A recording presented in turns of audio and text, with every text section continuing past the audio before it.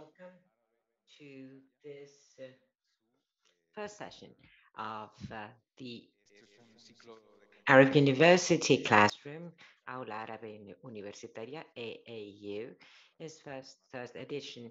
This is a, a conference cycle that has been organized together with by Casa Árabe and uh, the uh, the Autonomous University of Madrid and the Konrad Adenauer Stiftung. We'd like to welcome very warmly UAM students that have uh, just begun today their specialization studies in uh, the in the Arab world. AAU, for those of you who don't know this program, uh, this is an inter-university cooperation program. Casa Árabe organizes an annual uh, cycle of uh, series of conferences devoted to the Arab and Islamic cultural world, attending to the uh, suggestions uh, of, uh, regarding uh, speakers and subjects, topics that have been requested by the students at the universities in both Madrid and Cordoba. It's seven universities in both Madrid and Cordoba that are taking part in this uh, program. We will be holding seven uh, lectures uh, during this uh, academic year. And uh, all the students that are attending these conferences will receive um, a certificate of attendance. Those who'd like to attend need to um, enroll to attend the conferences, and uh, we will be very happy to issue you this passport to the Arab world that does not require a visa, uh, thankfully, and it will be universal. Uh, same as the green pass or COVID pass, even though it cannot yet protect you from uh, contagion. So uh, you can always uh, watch uh, these conferences uh, in YouTube and uh, you can make your comments there using the chat box, giving us your name and, and your details, uh, the university you're studying at. So you can there give us your details so you can be considered as an attendee to the conference. Well, there's been, uh, we, our, our stars were very lucky today. Um, I told you that, um, as I was saying earlier, that uh, we received some suggestions and proposals of names uh, for speakers to to come and speak before us in the in university, and many many people were really requesting uh, Fadia Faqir, who's here with us today, even though uh, albeit, virtually, but uh, also uh, this uh, very good alignment of the stars have has allowed uh, the Konrad Adenauer Foundation to to uh, bring us here today, Amro Ali. So we are really very happy with the how lucky our stars are today. So I'd like to give Thomas Volk first of all the, the opportunity uh, on behalf of the Konrad Adenauer Stiftung to uh, say a few words. He is in charge of the program of the dialogue with the Southern, Southern Mediterranean. They are located in, uh, headquartered in Tunisia. And uh, I'd like uh, him to tell you a bit about what the foundation is doing and the reason why we are partnering with, uh, with them. So Thomas, please, you can have the floor now. Yeah, thank you very much, uh, Karim Hauser and Casa Árabe for hosting us here tonight for I can say, a long time partnership now already between the regional program Political Dialogue South Mediterranean of the Konrad Adenauer Stiftung and your highly esteemed institution. And of course, I'm very much looking forward to have uh, this interactive uh, discussion tonight to learn more about where uh, the region, the Arab region stands today, where the so-called modern Arab state uh, is today, and of course to exchange with you about uh, possibilities of future developments in the region when it comes to a possible outlook. So what was the reason to come up with a publication called uh, The Modern Arab State? We are, as a regional office based in Tunis, uh, constantly trying to bring together, to connect uh, stakeholders, especially from the civil society, from the southern Mediterranean region. So we uh, bring together civil society actors from, let's say, Turkey via uh, the Palestinian territories and not the North African uh, countries to Morocco in order to connect them between each other and to bring their point of view to a European audience. So that's what we are actually constantly doing with our dialogue programs, with our conferences, and obviously with our publications. So we have a number of different uh, publication series that we recently came up with be it a publication on questions of maritime security, on the influence of the GCC in North Africa, or border questions, for example, between the regions of Tataouine and Ouargla, so between uh, Tunisia and Algeria. But one of the most interesting topics uh, for us in the last year indeed was to uh, question and to critically analyze where the region stands 10 years after the so-called Arab Spring, after the uprisings that started in late 2010 and at least in our interpretation, and that's also kind of the argument in the book, are still ongoing, especially if we look at uh, the Sudan or also Algeria and everything that happened there in 2019. And one could even uh, provocatively argue that uh, even the developments that are now taking place in Tunisia are to some extent also still an outcome of what started in 2010 with the uprisings in many countries of the region.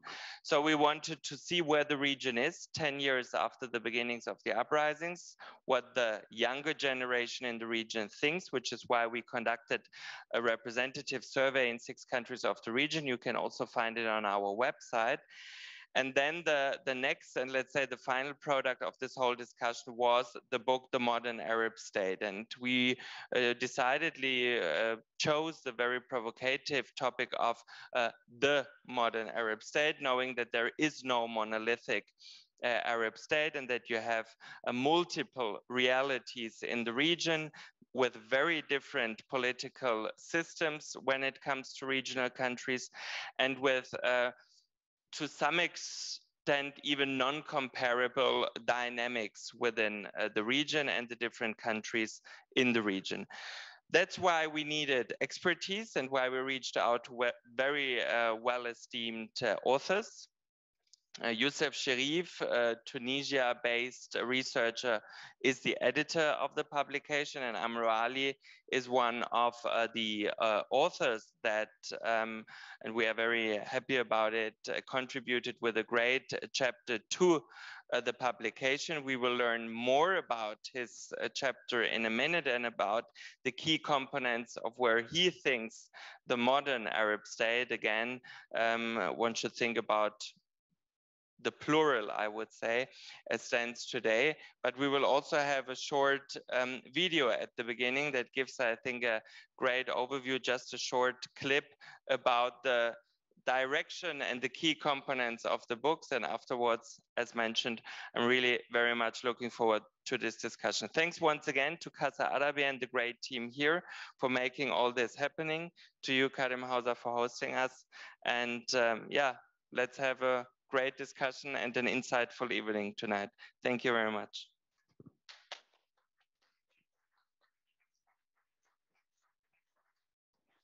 Muchas gracias, eh, Thomas. Thank you very much, Thomas.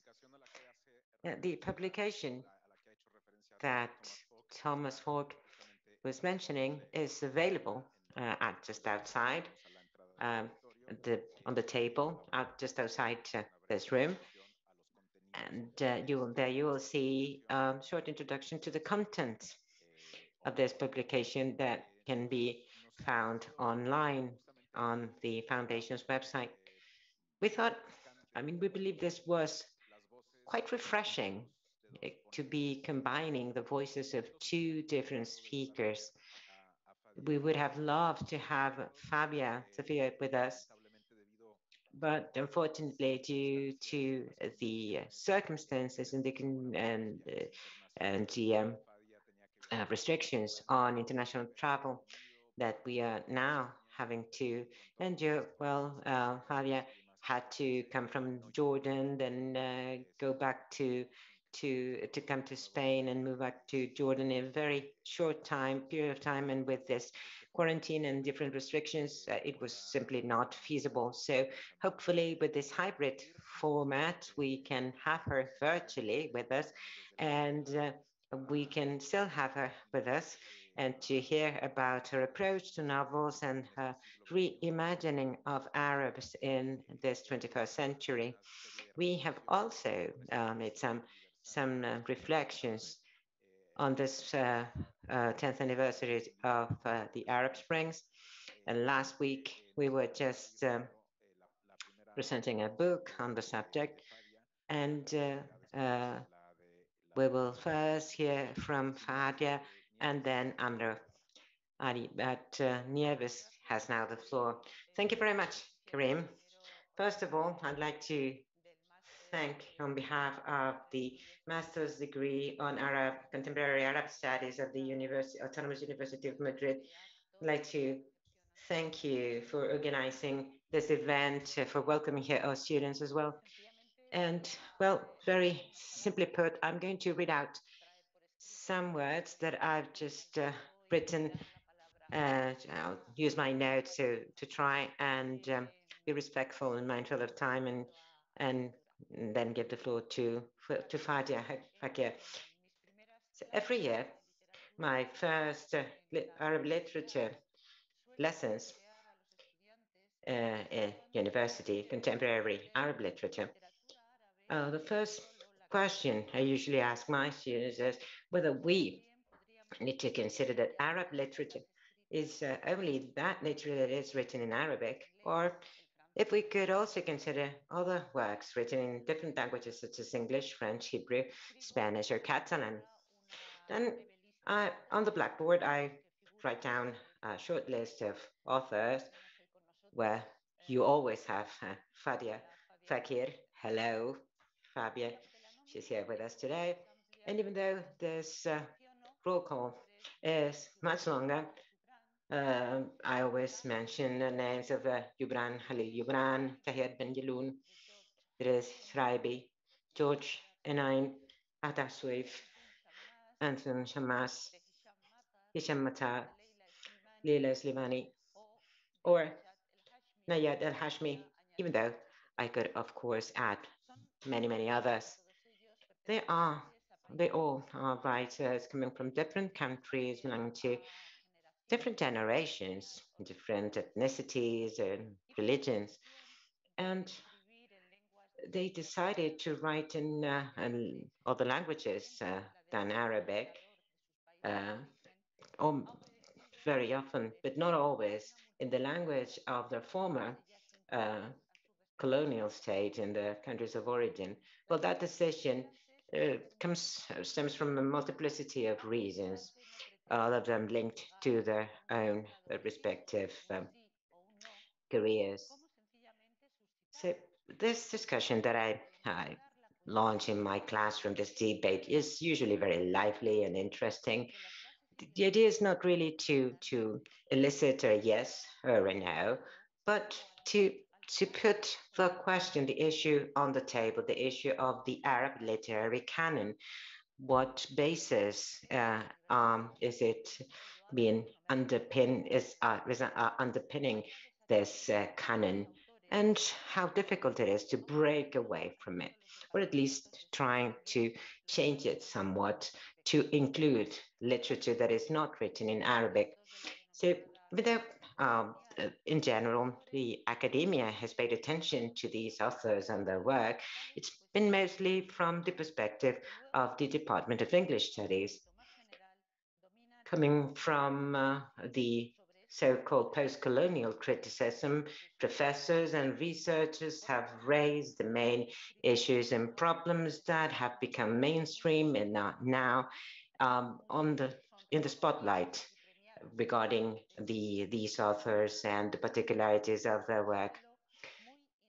These authors could be either uh, applauded and acclaimed and prestigious in the West, and sometimes just the opposite. They are in a very unstable ground um, when they criticize part or the, of their culture of origin. And some Arab critics and even Western critics um, uh, saying that they are, um, you know, they are just biased against the Arab world. So it is this very in-between position you know, uh, an in between, in between being a very post-colonial critics, criticism term that uh, puts them in on a landmine uh, with uh, uh, in a sea of misunderstandings. So leaving your uh, tribe of origin or uh, not really sharing the official discourse, be it the Arab one or the Western discourse, sometimes you really have to pay a very high, high price for it.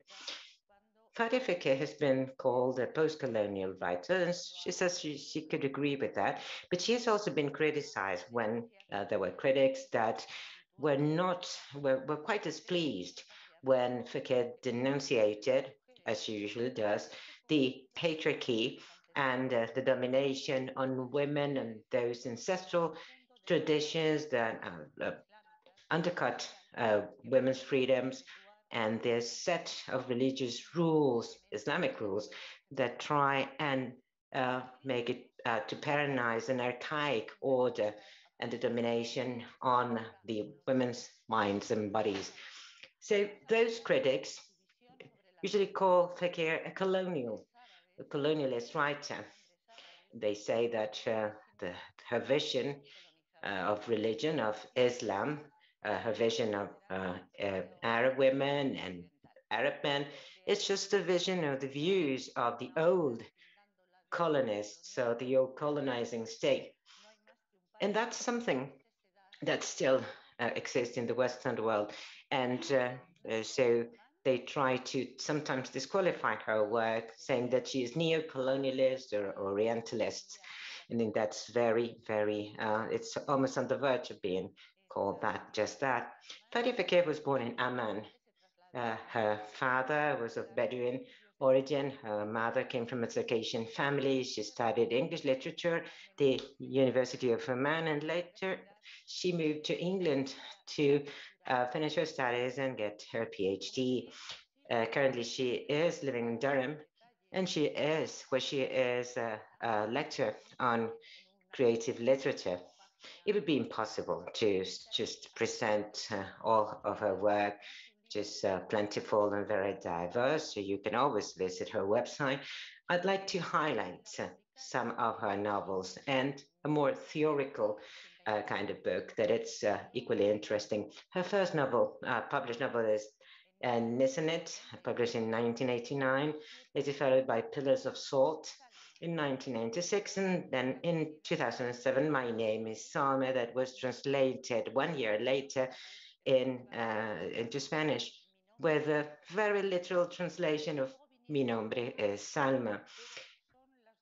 Then some others, uh, later came some others, but the, these two, this last two, the two last ones I've just mentioned, are the ones that have raised a greater critical interest and uh, that uh, summarize perfectly uh, the master, um, um, the, the main lines of her literary project. Between Nisanit and Pillars of Salt, Fadia Faqir um, published a book titled In the House of Silence in 1998. It is a selection and translation into English of a body of work of 13 uh, autobiographical texts uh, written by Arab women. And uh, to them It was added a, a, her own autobiographical text, which is also a very highly recommended. These autobiographies show perfectly well that Arab women from the very beginning of Arab modernity, at the beginning uh, by mid uh, 19th century, never, never uh, resorted to silence. They never gave up, and they were activists, thinkers, uh, um, militants, and even leaders of uh, different movements, uh, be it feminist movements and others, and writers of autobiographies, novelists, poets, her voices and her words have always had a present and an effect. Even though the linguistic or the language barrier sometimes has uh, made it impossible for the Western audience, in this case, the Anglo-Saxon public, doesn't, this has not allowed for the um, uh, Anglo-Saxon world, the Western world, to know, uh, to be very familiar with their names, their experience, and the uh, of, of telling their stories. Um, Fadi uh, uh, is always giving voice to some women, uh, for instance, Maha or Umsad in Pillars of Salt, Salma in My Name is Salma Najwa, in Willow Trees Don't Weep. They're women that have been dominated by their, pa- their fathers, their brothers, or their husbands, um, threatened um, uh, um, because of the primitive laws and, and, def- and defense of uh, uh, the honor or um, secluded uh, for uh, forever in an asylum because they decided to rebel against any some uh, social or religious rule. Even if it's, uh, regardless of whether it is uh, which of these voices is speaking um, or denouncing the situation or telling the truth, they sometimes they use a journey uh, that to free themselves of those of that domination.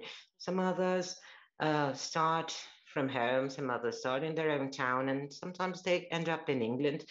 But uh, whatever it is, Faqir is uh, uh, making literature out of her many life experiences. She's not romanticizing or fetishizing or victimizing her protagonist, but she is clearly denouncing the abuse and the resistance to that abuse by women. And then just the last reflection terms such as hybridity, diaspora, ex exile, belonging, or identity are usually um, employed to describe writers that uh, seems such as Fadia Faqir that have chosen to write in, uh, in a language that is different to their mother tongue in, in Spain, we are very here, very muffled echoes of the raging discussions and debates that in other parts of the world are created by the work of those Anglo-Arab writers uh, or even uh, French-speaking um, writers. But we should uh, get to know them better and um, join that discussion we should accept uh, widening our, our horizon. It is necessary. And uh, to break away with the dogmatic uh, criteria that have been used to analyze um, their, their work and accepting the difference without any reservations and diversity in the uh, present Arab world, forgetting about political or religious uh, uh, taking political or religious sides because there's other many others because it is we have Arab writers that can um, that belong to two different literary histories and we need to accept that. Thank you. Muchas gracias, eh, eh, Nieves Paradela, por esta, por esta Thank you very much, Nieves Paradela, for your wonderful introduction to the word of uh, to the work of uh, Fadia Faqir. And uh, thank you for posing all those questions that uh, Fadia will uh, probably answer later on. We have uh, Fadia connected from the Durham University. You can hear us, follow us. Fadia? So I would say the floor is yours, but since it's a virtual uh, uh, uh, connection, you can have the ceiling as well if you want. Thank you. Go ahead. Uh, Good afternoon, everyone, and thank you Thank you so much for for the introduction, um, for for the generous introduction. Um, I want to start by thanking Casa Arab, um, the Autonomous University. So uh, hold on a second, Fadia. We seem to have lost your audio. Uh, let Can us check. hear me now? Can you hear me? Yes, we can hear you now, Okay. but you're Shall breaking.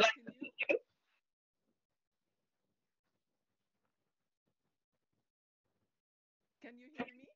Yes, let's let's try again. I just, want to say thank you for, for, inviting me, uh, especially Casa Arab, Autonomous University of Madrid, and uh, other sponsors. We have. Uh, pleasure to be here and to um, I'm I'm sorry, Fadia. I think we are having some trouble with your connection. Uh, mm, ¿Alguna dirección por la parte técnica?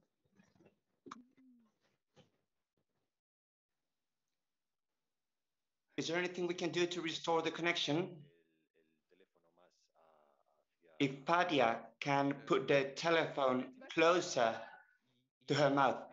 Audio connection. It's going through your phone. If you could uh, just bring it closer to to you. Okay. So, uh, can you hear me now? Is it better? Yes, that's better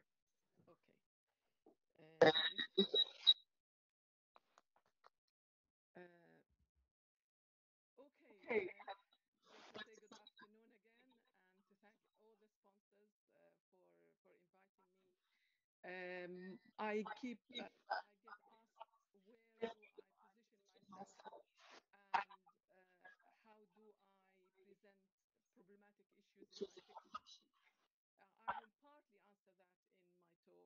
Um, so bear with me.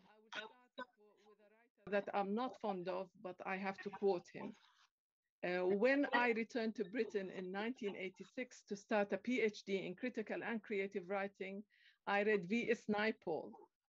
His essay entitled Jasmine, in which he describes the differences between jasmine, the fascinating word, and jasmine, the cold and uninteresting vegetation. Quote, the old oh. lady cut a sprig for me. I stuck it in the top buttonhole in my shirt. I smelt it as I walked back to the hotel.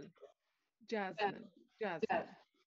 But the word and the flower had been separate in my mind for too long. They did not come together. Critics read it as an indication of Naipaul's discovery of the colonial language, English, and its beauty, and his aspiration to become a metropolitan writer. But for me, it symbolizes the, the challenges faced by authors writing in the language of the other. Elementary, for example, was part, part of my mental scape, and I didn't have to uh, look for the mots justes to describe it, thus perhaps fossilizing it. My relationship with the Arabic language was like a forbidden love, laden with danger and taboos. In a society governed by strict and traditional values, the use of language freely was hazardous then. And I hasten to add, because I just got back from Jordan after a four month, a long stay of four months, that maybe it's more hazardous than now. The tripartite of politics, religion, and sex were neither discussed at the home near nor in the classroom. I felt incarcerated both physically and linguistically. So I left my homeland and became an expatriarch. An expatriate, a woman who left her country and language because of domestic, political, and intellectual policing. Like many Arabs living in the West, I decided to cut out the middleman and create an Arab book in the language of the other. The reasons behind each author's deci- decision varies. But what is certain is that our texts are a byproduct of the colonial encounter. and of a rising awareness of multiculturalism that provisionally disowns oneself to listen to and perceive beyond differences a kinship of gestures and of desire. This is a quotation from Tabilsi. Uh, the writing of some Arabs in the West threads the divide between two cultures and a result, as a result suffers and benefits from occupying such a dangerous site, linguistically and otherwise. So the late British uh, Angela Carter, and I was fortunate enough to be uh, taught by Angela Carter, said, uh, describing Pillars of Salt, it is a compulsive read, a feminist vision of Orientalism. She used to give each student a book as a comment on their writing. She gave me Rana Kabbani's book, Europe's Myth of the Orient, Devise and Rule, which uh, analyzes the demeaning of Eastern women in Western narratives, first as women and then as Orientals. This book led quickly to the writings of Edward Said. Now, the misogynist storyteller in Pillars of Salt wouldn't have been born without feminism, Orientalism, um, postmodernism, and travel writing. He also kept a reservoir of oral tales mainly inspired by the Arabian Nights, folk tales, and quotations from the Quran. So the melange turned out to be a novel about memory, representation, conflicting views of history, and sexual politics. It had the unreliable narrator, the indigenous woman, and the mythic ending that was totally fabricated by the Orientalist unreliable storyteller. But the simple, truthful narrative of the native women incarcerated in a mental institution outweighs the framing fabricated tale. Madness is a theme that runs through most of my writing. I was influenced by R. D. Laing, the Scottish psychiatrist whose views on the causes and treatment of mental illness were affected by existential philosophy. He saw madness as a miscommunication and the feelings of patients as valid description of lived experience rather than mental illness. Maha and Umm Saad flew over the cuckoo's nest and were penalized by a society uncompromising in its norms and customs. Both urban and rural women are punished for their transgressions, locked up in a hospital, and then ultimately institutionalized. I return to the theme in my short story Under the Cypress Tree, but this time the main character subjected to electric shocks is a white woman in 1940s England. The savior comes in the guise of a Bedouin native woman, the first encounter between colonizer and colonized, or between Europeans and so-called savages, has frequently given rise to the question as to what constitutes our humanity and whether the strange people we encounter are to be accorded full human status. In the short story, the native invades the colonialists and interacts with her at her home turf or on her home turf. So, uh, so I'm gonna just pass over that and and and and and and say that it was actually writing back to the center, writing back to the center in a in a different way. Um, I'll skip that because my time is running. I put the timer on. My name is Salma. Uh, I get asked, how do you uh, deal with themes that are problematic, like sexual violence, honor crimes, etc. So my name is Salma is, is a novel about honor crimes. Uh, it is a classic example of trauma literature with its attempts to get language to speak the unspeakable when witnessing has collapsed and narratives fractured. It is a novel about the constraints of the human condition, migration, and racism, written in, in a form that is lyrical, disjointed, and punctu punctuated with minute descriptions of daily life. It switches almost at random between scenes from Salma's life among her Bedouin family, her years of protective custody, her fight, flight into a monastery, and subsequent journey to asylum in England. There are interspersed with episodes from her life in Exeter as she attempts to find work, educate herself, and establish a foothold in an alien environment. The disjointed narrative, which I use in most of my fiction, is meant to reflect her tortured self. Seen exclusively from Salma's point of view, it illustrates her, her links with her past. The aim is to prevent the reader from feeling any ease of smooth progression towards a resolution. Constantly, we are torn like Salma between a brutal past, an alien country, and its own cruelties, and the bonds of motherhood, family, and culture. Novels are windows to the world. They humanize, bring injustices to the reader's attention, and build cultural bridges. The present and complex reality of England wouldn't be captured without placing the story of the immigrant Salma in the context of the British colonial adventure in India. The novel has no goodies or baddies, and all their characters are tragic figure, figures, even the English landlady Elizabeth, the symbol of the empire who mistreats Salma. Uh, when we discover what Elizabeth had gone through in India and survived, we forgive her excesses. If the discourse in the metropolis aims to dehumanize Arabs and make them disappear to justify collateral damage, my fiction and writings aim to humanize not only the Arabs, but the English, Americans, Indians, etc. It is harder or perhaps easier to choose someone you know very well. What is important is to present the case gently, subtly, and without anger or self-righteousness.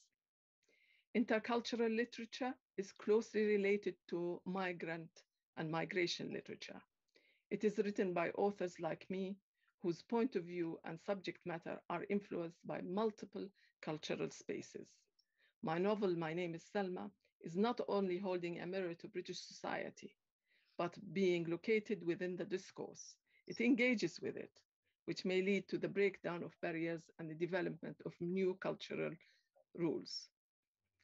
In his book, Migra uh, Migration Literature and Hybridity, Moslund argues that Deleuze and Bakhtin's work function as a philosophical stepping stones that the author utilizes in innovative ways to explore minor literature that does not conform to established codes, a literature which maps geographies and articulates irreducibility and multiplicity. If it is possible to separate sensibility from language, then the body of my work has an Arab attitude, responsiveness, perception, flavor, and identity, expressed through the medium of an, of an Arabized English, an English selected carefully to convey a specific Arab flavor. This is similar to what Indian authors did with the English language, but um, at a much humbler scale. I'm sticking to the time when I was a freelance journalist, I encountered narratives about us that were ahistorical, reductive, and false. It was important to subject the English language to scrutiny and prove Karl Marx, who wrote, they cannot represent themselves, they must be represented wrong. As author, Abdulrazak Gurnah said, I could not find myself in the mirror of English fiction. So authors wanted to um, to write something against the politics, what I call the politics of misrecognition. A person can suffer real damage, real distortion if the people or society around them mirror back to them a confining or demeaning or contemptible picture of themselves. So they wrote back to the center here is an extended metaphor for this cultural shift and disruption of the master narrative. I always tell my students, you need to disrupt the master narrative, whatever the master narrative is.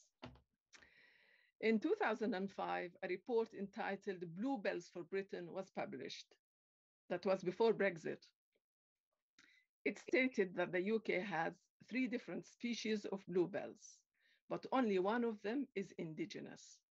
The distinctive, distinctiveness of native bluebells could be at risk because it's readily crossbreeds with two Spanish cousins, often planted in gardens and resulting in a fertile hybrid.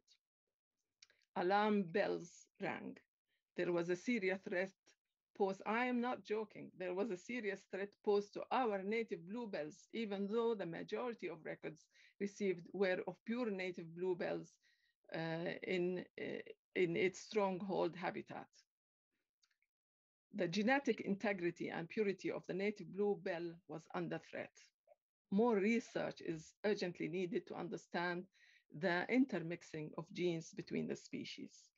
Gardeners must take care to avoid planting Spanish or hybrid plants in the countryside or near native bluebell populations. It was too late for countermeasures. The Spanish invasion was complete and irreversible, and the hybrid bluebell took hold. I see writings by authors of Arab uh, and or Muslim heritage as a hybrid bluebell sprouting out here and there in their full ugliness. Mirror, mirror on the wall, who's the fairest of them all? Which bluebell is the more beautiful, authentic, or aesthetically pleasing? Is there grace in asymmetry? And who is going to judge this myriad of bluebells? An old don at, Ox at Oxford University or a young academic in a metropolitan university? Will they completely escape the gaze of those who recognize the other by assimilation? Are hybrids less legitimate? Will they always be frisked at the borders to see whether they are alien, homegrown, or native? Will they survive Charles Taylor politics of misrecognition? It was necessary to see an oak in both cultures imagine it, and a jasmine, of course, and then represent it. An oak that is also a Sindian does not belong to the English language and had become mine, yours, ours. It turned into cultural product colored not by subjectivity, but by its subject position. Planted there in the fertile land of the geography of the soul, there is a Granada there in Granada, as I imagined it had been. It grows in other ways in the direction of light. A community of polyglots which belong to different ethnicities and religions, but are cultured in peace, is a vision I hold on to in these difficult times. It was a moment in history when colonizer and colonized, or travelers and settlers, coexisted and interacted, even within asymmetrical relations of power. Was it possible? Granada is a ripe pomegranate I carry in my suitcase wherever I go. My mother said, one seed out of the 600 will lead you back to heaven. But as an Arab, British, Muslim between brackets, woman, writer, burdened and liberated by all these labels, that crossroad where all intellectual caravans meet that transcultural position, that, that transcultural space, that Granada of the mind is paradise. I'll end here and say I'd be happy to take questions on, on the Arab world now, especially because I feel I can talk about it after four months in Jordan. But thank you so much for listening to me.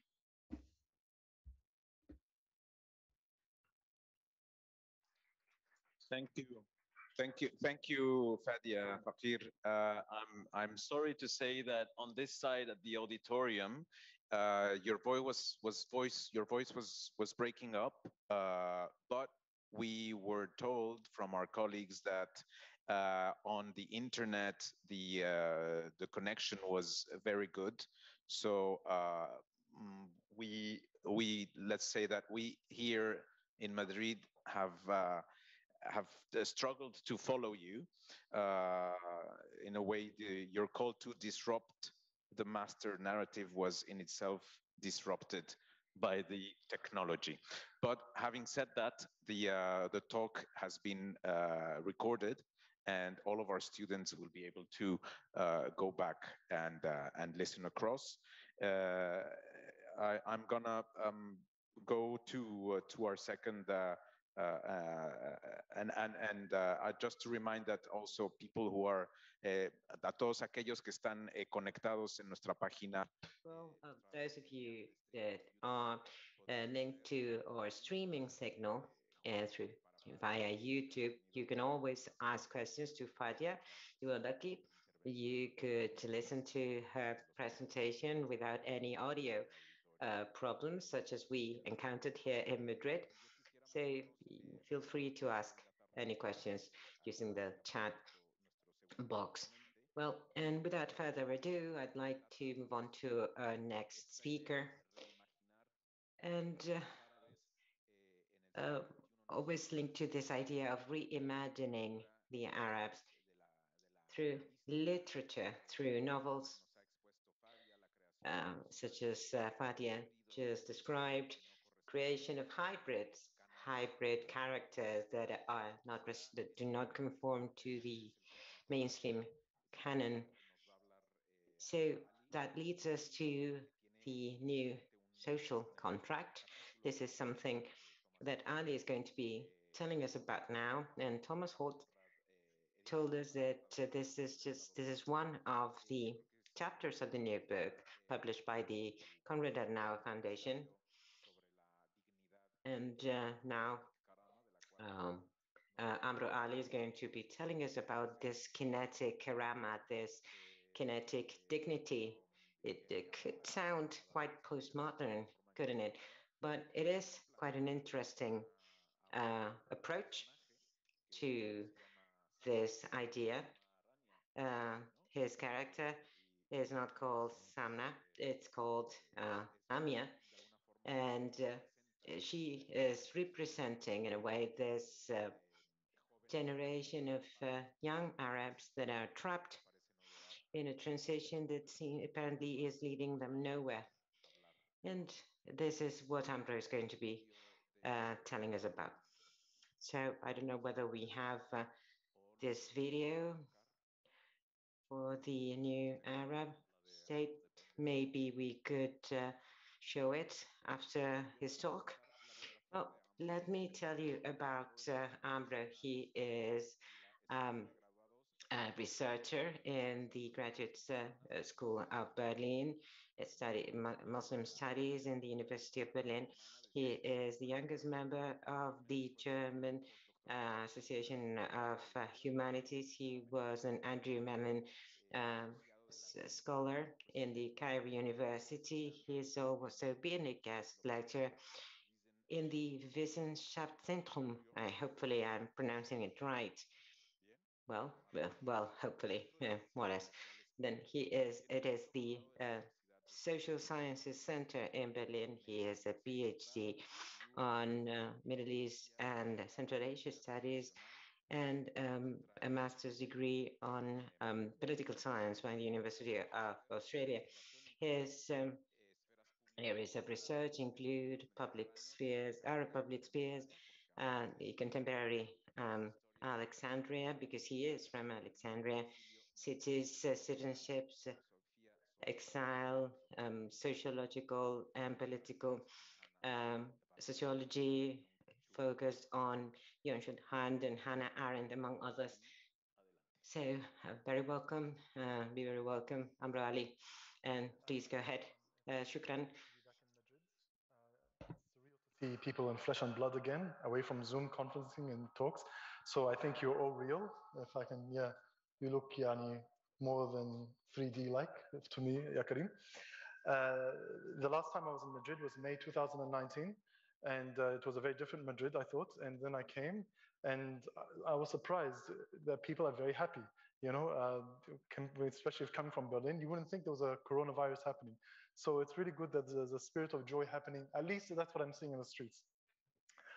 Um, so I want to uh, thank uh, and Casa Árabe and the UAM, uh, Karim, Olivia, Malte, Thomas, and everyone involved in the organization of this event. I actually, I'm not used to seeing uh, two different organizations from two different countries uh, come and cover an event not related to the country in question, but of another part, another part of the world. So I, I find this really fascinating. It is uh, very, very intelligent and very brave to do this. And so uh, to Kaz and Casa Árabe and the UAM, I, I take my fez off to you. Um, both, uh, so both these institutes do play a very critical role in tumultuous times, and I cannot imagine it being easy uh, covering the Arab world, but nonetheless, they push on. And I wanted to apologize to the translator. I, I, know I can talk a bit fast, so if you can keep up with me, I, I salute you. Um, so let us begin. No, you cannot do that to me. I, uh, I want to begin with the coffee houses in the Arab world because the coffee houses, the ahwa, is like a laboratory. It's like a, a social space where ideas and, and political currents can be brewed. And in Egypt, if you went to a coffee house during the era of Mubarak, you went into a coffee house, you saw the picture of the president on the wall. Uh, it was never really cleaned. It was like probably a young version of Mubarak if you went in 2010, but it's there. There's a picture of Mubarak. No one ever told you, the security didn't tell the workers or the owner to put a picture up, but you just did it in case no one, so you don't get any security harassment. And you did it because that is just the logic of what you do. You did it with President Sadat before that, and President Nasser before that, and King Farouk before that, and King Fuad before that. You just put a picture up on the wall of the leader, of the great leader. But then you know, something happened. If you go into the coffee houses of Cairo and Alexandria today, you don't necess necessarily see the pictures of the current president. And we are talking in the most repressive time in Egypt's modern history. Why are there no, or most cafes or coffee houses I've seen, I have not seen it. Why, in the most repressive period in Egyptian history, do we not see the president's picture? And this really got me thinking. And I am of the view that before 2011, there was a take it for granted authoritarianism. You know, like you didn't really have to try hard to be a dictator because there was already a complicit agreement about this. But now there is, you really have to try hard. You really have to push extreme efforts, whether it's building bigger prisons or uh, regular raids and so forth. We're talking about raw um, tiring in a way.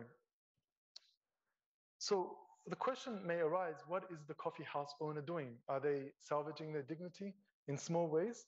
And this is someone who's in the field of sociology, I always recommend, or just everyday life, always look out for the nuances because you know the small leak can sink a big ship. And it brings me to the idea of karama, dignity if anyone was old enough to remember 2011, I'm really speaking like I'm really old and it's only been 10 years, but I know we have a lot of students, so I don't know if you really remember this. Sorry, that happened. So the word karama was very common in the protest chants in 2011. It was along Hurriya, uh, which was freedom, and uh, Uh, so you had, you know, and social justice. And so dignity was actually a new entrant and dignity was never used before in global protest movements. Uh, dignity um, has rarely been considered a political matter. But what happened in 2011, karama, dignity, was now tied to a new citizenship uh, paradigm among Arab youth. And this was a marked shift from the traditional concept of sharaf, uh, honor, which had, which, and sharaf, honor has much more uh, strong connections to patriarchy to, uh, to sex, to shame, honor killings, uh, and a fragile identity that can only be reasserted uh, by resorting to violence. So dignity was really considered a political matter, but somehow it magically, not magically, but it somehow did become uh, a, a, a, demand in 2011 and left lots of traces for us afterwards.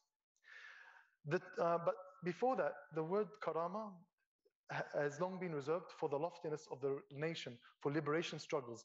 Dignity for the individual meant a moral virtue uh, that constituted an apolitical being. Its Arabic counterpart, however, Karama, made a phenomenal leap. Karama jumped from the moral into the political realm, sort of like a rare cross-species transmission. Think of it like a good version of the coronavirus, okay? And thus becoming a political force in its own rights.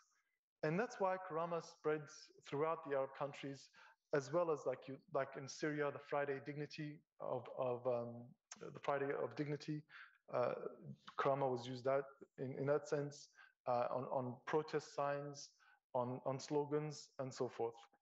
Now, the word karama originates from the root word uh, from various verses of the Quran, uh, which essentially means to venerate, to treat with deference, to like better, um, to give preference to, uh, to the other. Although karama means dignity, and I, I, think the English word karama, uh, English word dignity doesn't do justice to the Arabic word because it really goes deeper. Uh, because in Arabic, karama partners with iz, which means prestige, ja, which means repute, ihtiram, which means respect, hurma, which means sanctity, manzala, which means inherent status and rank, and qimma, which means one's inalienable worth. So in a sense, it's shorn of religious, cultural, and tribal affiliations, and it is not difficult to see why dignity jumped uh, into a universal uh, humanism. So, in, uh, to, really, to, give you a, a, recap, when in 1952, when there was a revolution, uh, and Nasser and Alexandria University sent a letter to Nasser, the, the young leader who, who led the coup, and asked him for uh, freedom, democracy, and individual dignity karama fardeya. This was not understood at the time. It didn't make sense to him because in the post-colonial world, individual dignity was something that was linked to Western idea of individual ethics. You had to dignity could only be for the nation, the bigger, the bigger picture. So what you see over the decades uh, is that the word karama is never used in academia or in uh, discourse. It's used more for the bigger picture, not for the individual. Uh, up until the 90s, you don't see much use in much use except for a modest set of Palestinian writings. But somehow in the 2000s, the word karama became very popular. So we see this word mushrooming to um, as to signal the welfare of individuals as primacy. For example, Al Karama for Human Rights, set up in Switzerland by Algerian Qatari human rights activists in 2004. Karama for Women's Rights in, uh, in 2009, set up in Cairo. Karama Human Rights Film Festival an annual six-day film festival in Amman, Jordan, set up in 2000, uh, 2010. And Tunisia was the, was the first to demonstrate that Karama emerged not only as a form of bottom-up universal humanism, but independently and outside the confines of academia, religious secular debates, and even human rights organizations. So what happened was in 2011, individual dignity was recognized by the new revolutions, except now it's swept up into a huge collective force. And that's when we see a shift from the nationalist to the citizen martyr. So the 2000s and 2011 produced the new uh, Arab citizen martyr. Like if you remember Muhammad al-Dura in 2000, who was killed by Israelis in, uh, in Gaza. Uh, Khalid Said in Egypt, 2010. Uh, Bouazizi in 2010. Uh, um, Syria's Hamza Ali al-Khatib in 2011. And so all these galvanizing, galvanizing icons that came about and in subsequent years. And to put dignity in a everyday context, um, a frequent line that's put uh, that's said to women in Egypt who complain of sexual harassment of Maxa would be uh, it's not unusual for them to say to them in the streets someone will say to them you shouldn't complain about sexual harassment because it makes our country look bad. So think about that for a moment okay? So this is not really fixing the problem because it's really talking about honor but dignity would take it to another level. Now the problem with this frame mindset, which is applicable to the rest of the many Arab countries, is that it takes no regard for the woman's dignity, which confers the karama, which confers inherent worth independent of any context and perceptions. That's what karama would be about. So dignity is a moral equalizer, as a matter that uh, honor struggles to attain. As uh, Khoshesov uh, succinctly puts it, in the logic of dignity, both parties to a dispute are understood to share equal rights and responsibilities. But in the logic of traditional honor, there is no such mutual regard, no possibility of negotiation or compromise. Wounded honor demands nothing less than total satisfaction, either through death or some other social accepted, accepted compensation. And honor, sharaf, was the dominant uh, ethical logic for many decades prior to 2011. And in conclusion, despite the despair and misery in the following decades of the Arab Spring, the Karama paradigm is arguably one of the enduring legacies of 2011 that says the citizen's inherent worthiness and inalienable right is to make the system, even if that reality is still very far off. And there's a word that's used in linguistics, it's called hypocognition. And the word means basically that when you know something, you see something, but you don't know how to describe it. And if you've ever been in love, I hope you all have somehow, uh, it's you, you can't find the words to to try and express your feelings. Or if you see a disaster and your vocabulary cannot keep up with your emotions. And that is kind of what the state of the Arab world is in. There has been, if not a literal destruction, there has been a metaphorical destruction where a lot of things just do not make sense. There is a nihilism that has pervaded, um, you know, from Morocco to Iraq, but in different intensities. And I think it is really up to the task of civil society workers and activists, policymakers, uh, as well as students, to try and make sense of this by looking at looking for a new language, looking for something that can give that can give order to chaos. Because right now we're talking about a state of nihilist values, attacks on pluralism, zero-sum game power struggles, with each party backed by different uh, regional powers.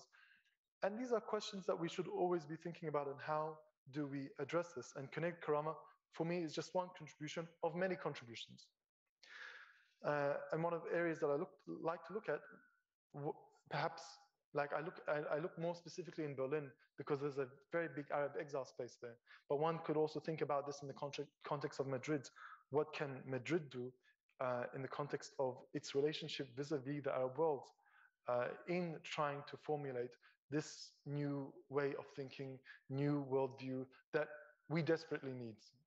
And I, when I say desperate, I just don't mean Arabs. I mean those who are invested in the welfare of the Arab world. And um, I will end with this quote from Erich Fromm. He wrote a book in uh, 1941, the German writer uh, Erich Fromm, uh, called Escape from Freedom. And I'll read it twice just to um, get it through.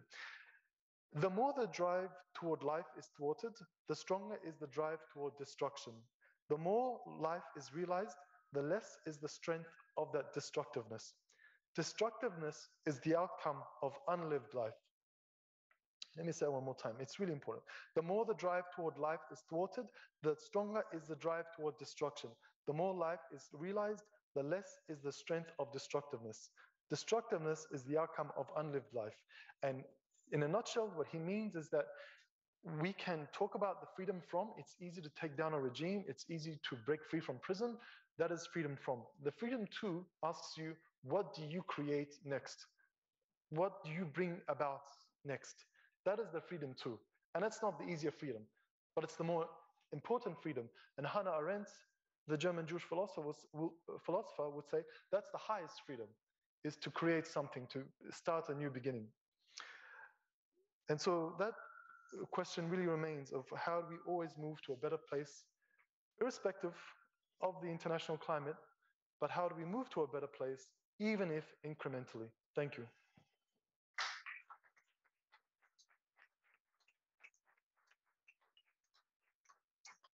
Thank you, thank you. Muchas gracias, eh, eh, Amr, por, por estas, eh, estas reflexiones. Eh, thank you very much for your reflections. We can now begin the questions and answers session you can ask your questions both here and online. Thanks to my colleagues here. I would like to go back to the topic of dignity and the word karama. Where does that movement come from? I read the article, so I know that you explore a very interesting dimension in your article. You talk about a new vision for the future. That is the change in Arab societies in Arab youth, they see a possibility to connect beyond national states. We've seen it in the so-called Arab Spring. Communities have been created, even though virtual communities. We have the example of Berlin, where a dialogue can take place between Iraqi people, Egyptians, and people from other Arab countries. Do you think this dimension is an appropriate pillar for this new vision of the world, this new social contract that uh, is being uh, created in the Arab world?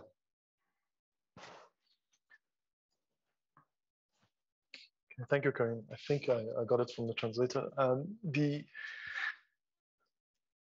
if we're talking about the the new uh, reality, I think we you know I think we need to take a, a meta narrative, a grand history a view of things. And I tend to be a fan of meta narratives of the big story. And if we look at the you know uh, Jews who fled uh, Europe in the 1930s, they went to New York, and New York became that intellectual capital for them. Uh, the same thing with Latin Americans who left Latin America in the dictatorship period which in the 70s and 80s and came to Paris and made Paris an intellectual capital. Now we're seeing the same phenomenon in Berlin and in lesser uh, other cities, including Madrid and Amsterdam, Barcelona, and so forth. It is not unusual for ideas to begin in the periphery uh, and then come to the center. This is not historically unusual. It's not unusual for exiles to return back when the political climate is back in their favor, uh, as in a, in a, pluralistic democratic uh, favor. Uh, whether that it means a social contract or not is, is really a different question. It's, it's, a, it's a matter really that goes also back to the inhabitants of the Arab world. I don't want to paint a rosy picture because the situation is very, very dire. We're talking about increased suicides amongst uh, Arab youth. You know, the even if 2011 had economic problems, people still had hope. But now you're talking about the evacuation of hope um, across the region, and, and, and, it, and it varies from country to country. Uh, what I will say also with the post, post 2011 wave who left uh, the Arab world, they're not the same as the pre 2011 wave uh, because many of them who have left are not leaving necessarily for economic reasons, uh, where their parents might have gone to the Gulf, Dubai, and Kuwait, and all that. These were economic reasons, and they couldn't do politics, so they could legally stay. But we're talking about an interesting, peculiar type of zeitgeist that's arising uh, and that has been in motion for many years that are now, you know, um, mushrooming in Europe um, and, and North America. So the question is, what can come, of, come, come out of that? Uh, will it be a, a, a, social contract? Will it be, uh, however you define that? Is it a school of thought? Is it an ideational movement? Uh, but what I mean is to be political means you have to actively think about it. It cannot just organically come about like that. I think if that's, uh, if I answer the question. What about the kinetic objective? The, yes, the, okay. The idea of the kinetic is to try and give sense to the way people react since 2011. Uh, it's, it's not the same sort of passive way it was done before. People are always trying to find spaces of dignity through and through. I'm not saying this is a different type of human being after 2011, but the social reactions are very different because they've seen a precedent happen. And when you've seen, seen precedents, you know, and you are the ruler, you are in trouble because sometimes it feels like, you know, your time could come up anytime. When Ben Ali was uh, sent on a one-way ticket to Saudi Arabia in 2011, it was unimaginable because for us, an Arab leader can only die in office. or overthrown by a brother or something. But it really was so surreal to see, and this had not happened three generations. Okay, so it was so unusual to see that. So when you look at the everyday life uh, of the behavior of individuals across the Arab world, it is it says something about salvaging dignity. Now, on a minimal level, someone that enters the mosque or the church doesn't do it because, or doesn't only do it because that is a religious obligation. They do it because they can retrieve some dignity that they can't get on the streets. And it doesn't have to be police violence. It could be just hyper capitalism and consumer society. And the worship space gives them 15 minutes of breathing and then they exit again. But to think actively can be seen in the way people might beha behave with the police or, uh, or what Tunisians are doing at the moment, uh, protesting because of the, uh, you know, because I, if, if are they okay with me saying coup? I'm not sure what's the what's the uh, the latest words that's, um, but the constitutional, uh, you know, uh, theft, for lack of a better term, because Twitter can be a bit of a a wildfire with with the terms that are used. it reminds me of Egypt in 2013 when we had this can, we call it a coup? No, it's a revolution. Is it a coup? Is it anyway? So yeah. Thank you, thank you, Amr. Eh, preguntas de este de aquel lado. Would you like to ask any questions? Let me take the microphone to you.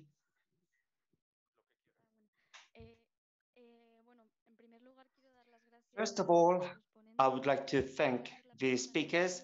I'll uh, pose my question in Spanish to you because I have a very specific doubt regarding the concept of Karama. I wanted to ask you your opinion. Hayat Karama, that is a cooperation program that is being implemented in Egypt into in order to revitalize uh, rural areas. So do you think Karama is a way to redefine this concept or what can Karama mean in this concept, in this program in Egypt? Thank you. Thank you. Thank you for your question. I, I don't know specifically about this program, but I do know uh, it has been used a lot by governments uh, in the region, more than they would have used it before. Uh, so like when we saw in 2014, the, the, the Libya operation by Haftar, backed by um, the UAE in Egypt, was called Operation Karama. Uh, so yes, the counter-revolution can use it too. Uh, that's not unusual. Uh, it's it's a word. It's it's democratically available to everyone to use. Uh, but the fact that it's used and contested says something that it really it matters. It has it's a loaded term that has uh, impetus. It has power in, in, its use. Um, but I am just of, of the I'm just of this of the stance that there has been a shift, uh, a linguistic shift, and you can even say a mindset shift since 2011, where it has moved from sharaf to karama. Now I do, now I do remember uh, one young woman uh, during a talk um, in the audience complained that the word karama is used as a, you know, to oppress people as well, you know, like, because now even you know, karamat al-balad and, and, and, the dignity of the nation again, and we're going through that same cycle. And yes, it, it can be uh, it can be oppressive in that in that sense. But once again, it, it's a word that I am using to try and make sense of changes um, and what changes are coming about from the engagement in that sense. Uh, and I think when we really flesh out karama, we can really give justice to it even if it's used superficially in other circumstances. ¿Otras preguntas? Any other questions? No. Vale, pues vamos a eh, Martín, si podemos poner el vídeo de Martín, de la, can we please play the video, the modern Arab state while we wait for questions uh, from the audience here or from our visual audience. So-called Arab Spring continued to threaten the palaces of Arab rulers. Despite its volatility, chaos, uncertainty, and cost, several unexpected changes have shaped the future of the Middle East and North Africa region since 2011. Economic and political problems are the main struggle in Tunisia and Egypt civil war and division in Libya, Yemen, and Syria, amplified by regional and external interventions, a country-wide revolutionary process in Lebanon, government resignations in Algeria and Iraq, jailing of the dictator of Sudan, constitutional reforms in Morocco and Jordan, transformation of monarchical foundations in Saudi Arabia. The Arab youth who fill the streets of their cities are paying a huge price for a dignified life. أصبحت هذه المجتمعات اليوم في حالة تحضير كامل آه، وفي حالة من اليقظة والوعي للانتفاضة في أي لحظة ضد أي أنظمة حاكمة. إذا شعرت أنها ممكن أن تصادر حقها في الحكم. قوة التغيير عند الأجيال الشبابية الصاعدة ساهمت بشكل كبير ببناء دولة عربية حديثة بأجود الأنظمة الديمقراطية. I don't believe in the existence of a modern Arab state because the status quo of the regimes in Arab countries where uprisings took place remains the same. So I think the Arab Spring has failed. This book comes 10 years after the beginning of the Arab uprisings. It brings together scholars from the region who did follow closely the developments of the last decade.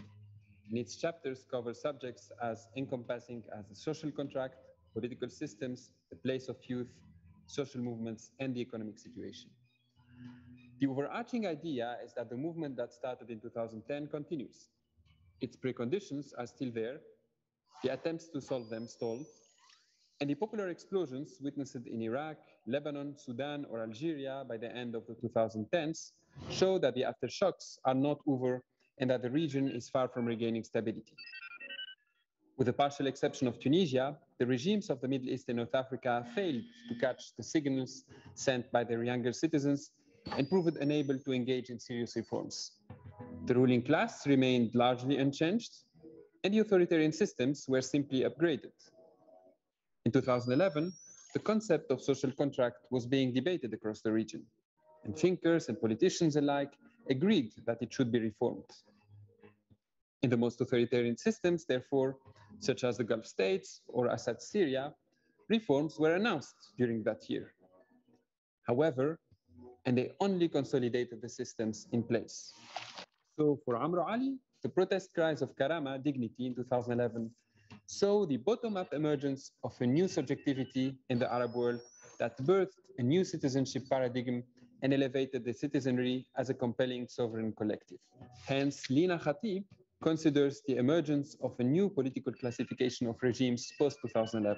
Many political systems have not changed significantly since the start of the uprisings, or merely witnessed cosmetic reforms. Other systems have undergone notable transformations. These transformations can broadly grouped under five categories. The failing state, the military state, the democratizing state, the autocratic state, and the mandated state. It is against this sclerosed system that the youths of the MENA region have revolted, as noted by Youssef Cherif. In a continuation of protest cycles that started during colonial times, the generation born in the 80s revolted against its leaders and took to the streets. The results were mitigated.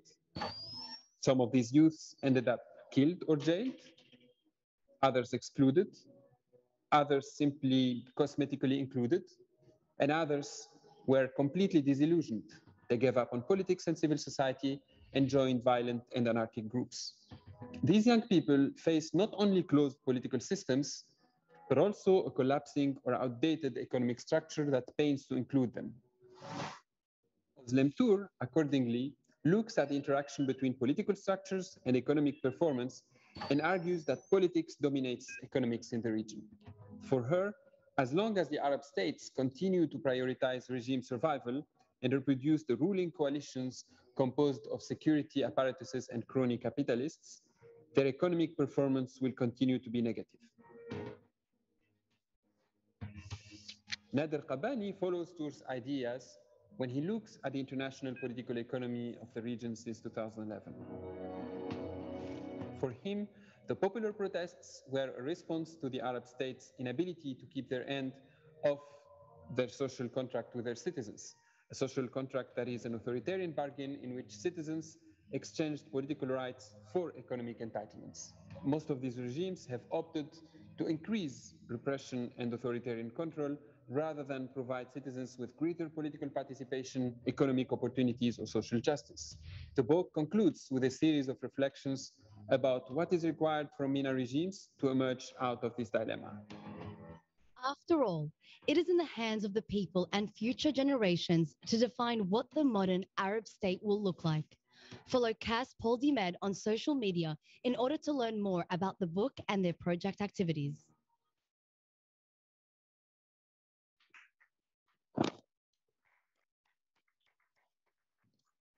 Bueno, pues eh, no sé si hay.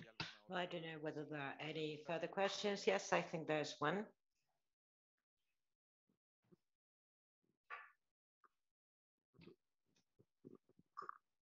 Hola, eh, mil gracias. Hi, thank you very much for your uh, lectures. And uh, thanks to Casa Árabe and the Autonomous University of Madrid and KAS for organizing this event. Um, one question for Amro.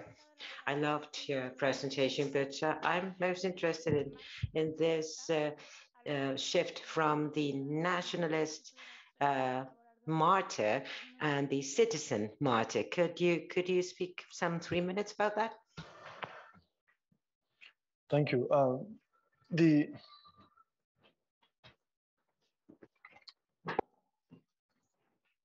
there are different views of what happened with that shift, uh, but also it had a lot to do uh, with the way the word sharaf honor was used uh, in the later, later 20th century because uh, often it was saying it, basically the argument to maintain regime stability was that it's not all about you. It's about you know the, the the nation and we have to keep it safe from the imperialists from israel from you know uh, the us uh, real and imagined you know so the thing is, is that there was always a focus on those who serve those interests which, tends to be nationalists and military figures uh, hence why a lot of streets in the arab world are named after dead, dead nationalists uh, the shifts may have come about with the sort of the rise of uh, neoliberal neoliberalism in the 90s, but also which came packaged with it uh, individualism. Uh, so that could have been one positive side effect of individualism in the 90s.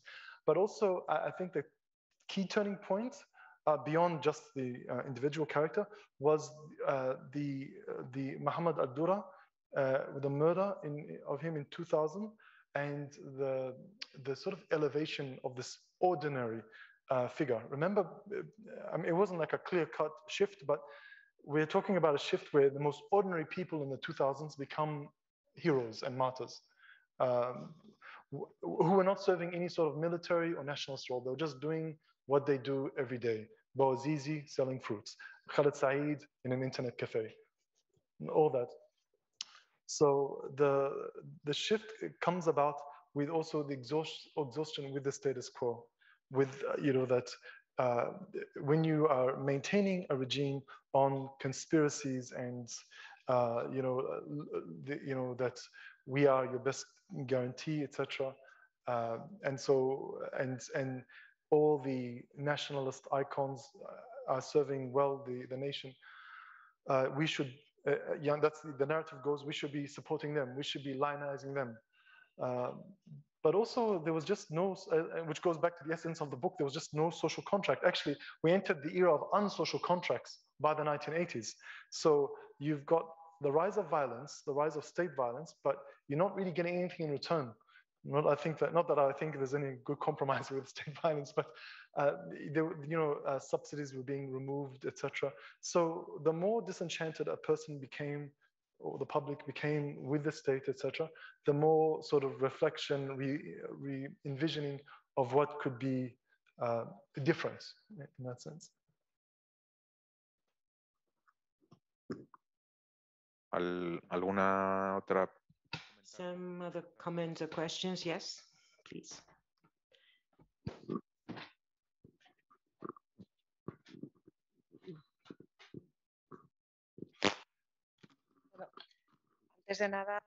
Well, first of all, I'd like to thank the speakers um, for the reasons they have given us to to question ourselves and to wonder what is uh, what is the uh, the future for this social contract, what lies ahead. Um, it is uh, something that has been uh, a long-running issue. It started in the 80s, and then there was this general deterioration across the Arab countries, and it ended up um, in uh, quite a deep gap, a deep uh, fracture in many Arab countries. And uh, well, so what do you think this new needs, this new need for a social contract is leading us to? Where what's what lies ahead? Maybe it's uh, I'm abusing of your patience, but uh, please bear with me because in the video we've seen uh, some Turkish um, people also um, uh, making some statements. So, what is the role of religion, of religiosity, of religious beliefs in this crisis, in this uh, fracture? And do you think that uh, some peripheral elements that are non-Arab elements going to be um, uh, benefiting from all this, you know, uh, Turkey, some other countries that are just in the periphery, and uh, that uh, with their religiosity are, you know, having a bearing an influence on the future of Arab countries. Thank you. Thank you for your question. Um, how does one go about answering this? Uh, it's a very good question. Uh, and I will give you sort of two uh, different historical contrasts. So when the Arab uh, movement in the 19th century and early 20th century called the Nahda, which means Renaissance, if you read their writings, they were writing 50 years into the future. You know, so they were that visionary, even if most things didn't come, you know, to light in a good way for them.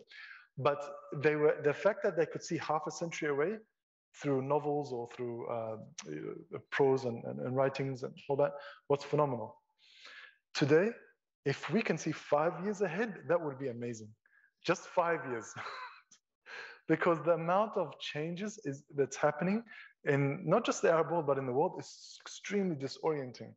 It, it cannot be easy being a policy maker or a politician or an activist or, or any of that. We just, we've lost that, uh, we're living in that sort of liquid age where just, we're losing that sense of borders and uh, like lines and, and, and, names and structures to make sense of things. Uh, but we still have to try. And, and we write in the conclusion of possible outcomes. And there are three possible outcomes. And I'll be very reductionist here, uh, just to deliver the point, is that either things stay the same, things get worse, or things get better or marginally better. There's actually a strong case for all three.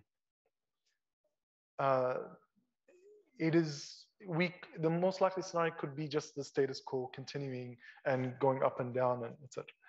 The the the the much worse scenario is also a possibility because every year we, we think we've seen the worst, the next year surprises us. Then the case for things getting better is that, okay, we've seen the worst, um, this is all they can do, we now have to think differently, step back and, and do things in a different way. That's, and I mean that much in a much more collective sense. It is really, really hard to, uh, you know, say with certainty, okay, this is going to be uh, the case. And also people experience oppression very differently in our world. Like, you know, someone, you know, in, in Cairo is not like someone in Dubai. It, it's not, uh, and they have a different idea of oppression. Everyone is just but we, what we can say is that they do share uh, a very uh, a core political economy and social contracts that have collapsed, and they now need to be renamed. And that's what I do in the chapter.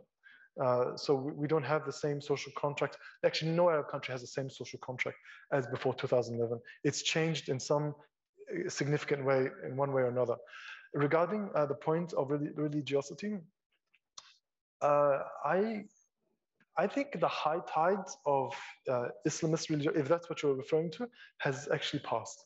And I say that from, say, the gravity center, where it is much stronger in Egypt than other Arab countries, where I think the high tide was from 2005 to 2012. That's just a rough, and um, and it's not the same as it used to be, uh, where people used to fear it as a threat, for example. Uh, but if you're talking about uh, religiosity as a as a coping mechanism, as a value system, uh, that is something that's always being negotiated every day. We just have to uh, remind ourselves that whatever we see Erdogan doing, whatever we see, you know, the Arab presidents and kings doing with religion isn't really religion. It's more of a form of Baroque Islam, I call it, you know, uh, where they use theatrics to legitimize their rule. Um, it's, if it was really about religion, they would be talking about the Uyghurs in China, for example, or they wouldn't be secretly sending them back for example. But it's really not about religion. It's uh, and and and one final point I'll say is that uh, the, the the modern incarnation of Islamism is a very modern phenomenon. It's not medieval. I think if it was medieval, then we'd be expecting them to translate Plato and Aristotle's texts.